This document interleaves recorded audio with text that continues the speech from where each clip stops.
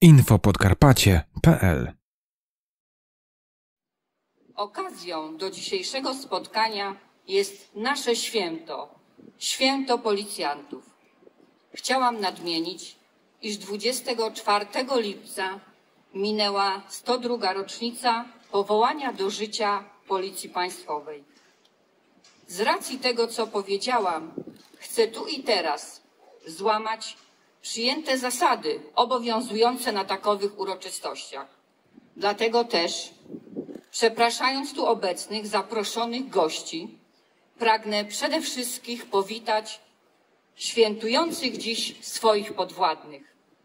Raduję się widokiem Was, koleżanki i koledzy policjanci.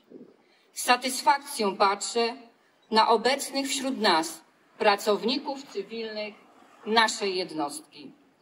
Tworzymy jedną, zintegrowaną wspólnotę.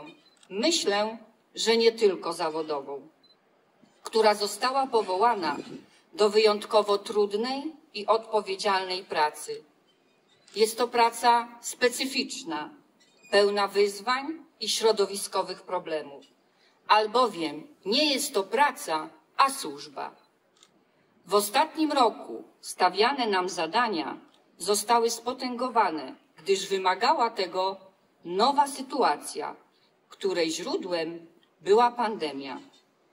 Obiektywnie i z dumą wszem i wobec głoszę, iż podołaliśmy tym licznym, nowym obowiązkom, których uczyli się wszyscy. Kolejny raz zdaliśmy egzamin i daliśmy dowód kompetencji i zaangażowania. Pogodzenie realizowania ustawowych zadań z nowymi wynikającymi z kryzysu zdrowia społeczeństwa było naprawdę nie lada wyzwaniem. Chylę czoła przed Wami, czyli tymi, którzy je wypełnili. Zdobyliśmy doświadczenie, z którego niestety, według prognoz, będziemy zmuszeni korzystać. Dzięki Waszej postawie jestem spokojna. Oto, co nas czeka w przyszłości. Przekazałam Państwu ocenę Waszej służby, ale to nie pełna wypowiedź, bo uważam, że winnam Państwu okazać wdzięczność. W związku z tym gorąco i serdecznie dziękuję za każdy dzień pracy, za ofiarność i trud służby. Doceniam także postawę Waszych najbliższych, bo zdaję sobie sprawę, że bez ich pomocy nie byłoby to możliwe. Jestem zadowolona z tego, że Waszą i moją satysfakcję podzielają z nami obecni wśród nas zaproszeni goście. Pozwólcie Państwo, że powitam posła na Sejm Rzeczypospolitej Polskiej pana Adama Śnieżka. Witam wyjątkowo przychylnego naszej jednostce, starostę Brzozowskiego, pana Zdzisława Szmyda. Witam także przedstawiciela burmistrza Brzozowa, pana Waldemara Och, sekretarza gminy Brzozów. Pragnę poinformować, iż wyjątkowo owocnie układa się współpraca Komendy Powiatowej Policji w Brzozowie samorządowcami całego powiatu. I dlatego powitajmy gorąco obecnych wśród nas wójtów. Wójta gminy Domarac, pana Jana Kędrę. Wójta gminy Dydnia, panią Alicję Pocałuń gminy Jasienica Rosielna, panią Urszulę Brzuszek, gminy Haczów, pana Stanisława Jakiela, gminy Nozdrzec, reprezentowanego przez panią sekretarz Agnieszkę Bara.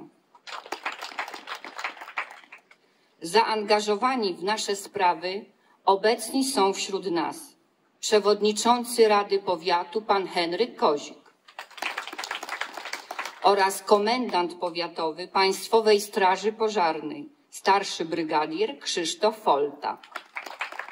Dziękuję za przybycie na naszą uroczystość. Witam także gorąco prokuratora rejonowego w Brzozowie, pana Zbigniewa Piskozuba, prezesa Stowarzyszenia Emerytów i Rencistów Policji Koło w Brzozowie, pana nadkomisarza w stanie spoczynku, doktora Adama Pobidyńskiego. Witam także sympatyka służb mundurowych, rektora kolegium i kustosza sanktuariów jezuitów, ojca Wiesława Farona. Są wśród nas obecni przedstawiciele miejscowych mediów, którzy na co dzień rzetelnie informują oraz promują naszą działalność. Wszystkim, których wymieniłam przed chwilą, bardzo, ale to bardzo dziękuję za współpracę i za to, że mogę na Państwa liczyć na co dzień i od święta. Teraz pozwólcie Państwo, że odczytam fragmenty listu pana komendanta wojewódzkiego policji w Rzeszowie, inspektora Dariusza Matusiaka. Szanowni Państwo, w tym szczególnym dniu kieruję do Państwa serdeczne pozdrowienia oraz wyrazy wdzięczności. Zadaniem policji jako umundurowanej i uzbrojonej formacji jest służba społeczeństwu, ochrona bezpieczeństwa ludzi oraz zapewnienie porządku publicznego. Jestem dumny, że policjanci i pracownicy policji naszego województwa bardzo dobrze realizują swoje obowiązki. Z okazji święta policji życzę Państwu wszelkiej pomyślności, dalszych sukcesów w służbie i pracy. Życzę także satysfakcji w wypełnianiu codziennych obowiązków. Szanowni Państwo, w ślad za życzeniami komendanta wojewódzkiego policji w Rzeszowie chciałam podziękować za trud, obowiązkowość, odpowiedzialność i dyscyplinę w wypełnianiu codziennych obowiązków. Jestem przekonana, że Wasza postawa jest źródłem Waszej satysfakcji i radości. Tę radość zanieście także do swoich rodzin i prześlijcie im słowa wdzięczności i pozdrowienia.